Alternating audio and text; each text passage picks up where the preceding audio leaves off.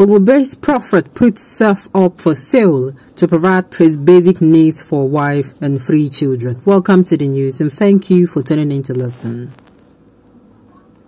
A cleric based in Abeokuta, Ogun State, Abolarinwa Emmanuel has put himself up to sale. This one is a case of you don't be, you don't read, as in nowhere pure at all, according to my worry brothers.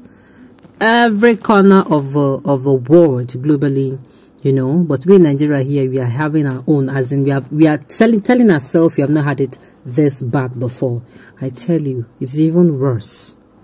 Unfortunately, here in this part of the world, you know, some people are saying hunger is the problem. Some are saying insecurity is the problem. Some people don't even think about food. What they think about is safety. Last, last, this life no balance. The news in detail, please stay with us. Emmanuel said he was willing to go with any buyer willing to pay 2 billion naira to provide for his wife and three children. The 43-year-old man, a native of Oye Ekiti, Ekiti State, sent an SOS to Sahara reporters on Friday saying he was fed up with the life he and his family was currently living and had therefore resolved to sell himself to raise money to take care of them.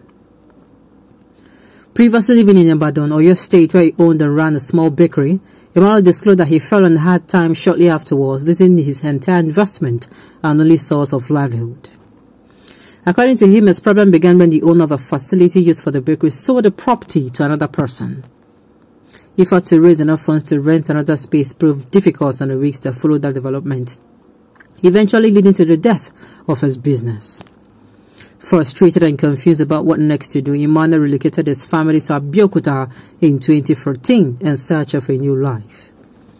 Engaging in manual jobs like grass cutting and working as a laborer at construction site just to earn some money to provide food for his wife and three children, the 43-year-old son became a cleric, hoping luck will finally smile on him. But several months after joining a church at the Kemta Idi-Aba area of Abeokuta as an assistant pastor, Emmanuel is thinking of another route to end his misery. I am fed up with everything, he said while sharing the story. Nothing I, that I lay my hands on is, is working. Maybe God has abandoned me. I don't even know.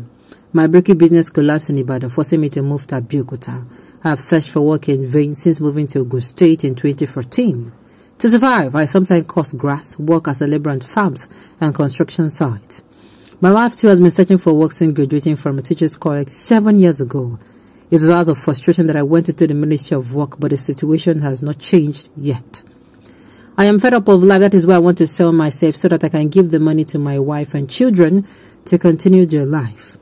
I will serve whoever buys me diligently and be willing to do whatever they want, he added. Asked if he was not scared that a potential buyer could kill him for ritual purposes, Emmanuel said he was ready for the outcome as long as money for his wife and kids will be available.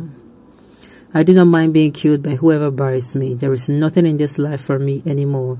My major concern is to find money and give to my family to continue with their life, he said. The self-acclaimed prophet, revealed that his wife and other members do not know about his plan to sell himself, stated that he was not going to back down on his plan until he achieved it, his target. I will not stop until I sell myself and raise money to give my children a better life. Nigeria has become so hard that if you do not do certain evil things, you will not be able to survive. Nobody in my family knows my plan because I do not want anybody to stop me. I must achieve my aim because I cannot continue to watch my children and wife suffer, he stated. This is when it hits you real hard. This is when, sincerely, well, this guy is a nobody won't buy nobody will buy him because God has rejected him. I don't think so. This is not a laughing issue here. This is an issue of if care is not taken, this particular man is at the verge of sleeping if he's not already in depression. And we know that depression has stages.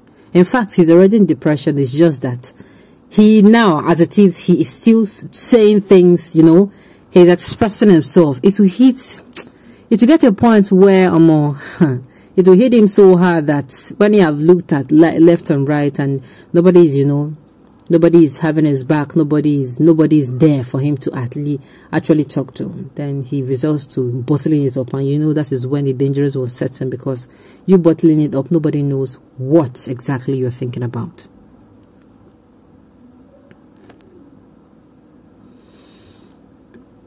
Is this how you people respond to hardship? If you jump inside Lagoon, you people will be saying you should speak up. Sincerely, I don't understand. This man is, this is a way of, I, I know it is not a right way, but I, all I see is somebody who is very frustrated in this space. I see somebody who is very frustrated. And believe you me, there are millions of this kind of people outside. Like I said earlier before, he's already in depression. He's depressed. It's just that he is still at the stage where he can say what whatever is wrong with him. He's not even talking about himself. Did you hear him? He does not mind being killed. That is, he's already losing it. Unfortunately, in Nigeria today, we tell sweet words to people who are dead and would prefer to, you know, donate things to the dead rather than help the living. That is what I found out that the society does. You see somebody who has been fighting for a very long time, maybe the person has cancer or very, a kind of terminal disease. You see nobody, nobody will send the person, no. Sincerely, if the person was healthy, the world will not know about you but just come out and say, oh, this person, God forbid, this person dies of cancer.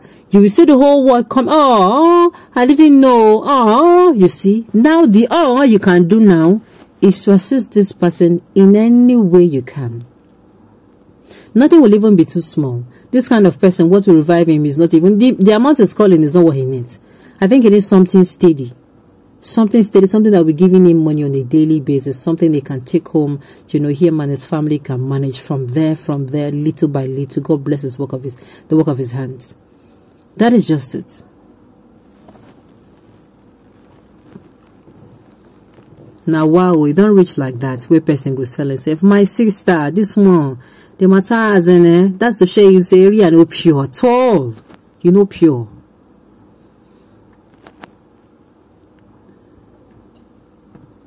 Well, at the end of the day, unfortunately, um,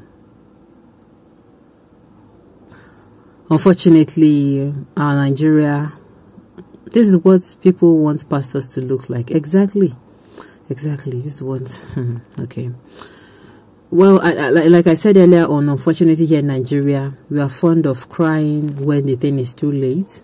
So I just wish somebody reaches out to him and, you know, the man what he needs is like i said somebody something that gives him money on a daily basis something he can he can take home that will be sufficient to feel even if it is not more than enough. For now something sufficient that can feed his family that can take care of their maybe their fees and all sincerely he will be super grateful. At least from one level from him being having sufficient to take care of feeding clothing housing rent and all those little little things then cannot talk about oh let's plan for the future. You know person will go first crawl before you go walk on waka. I hope somebody reaches out to him pretty soon before we hear something else. Okay on this note we've come to the end of the news. We say thank you for tuning in to listen. Until i come here next time enjoy the rest of the day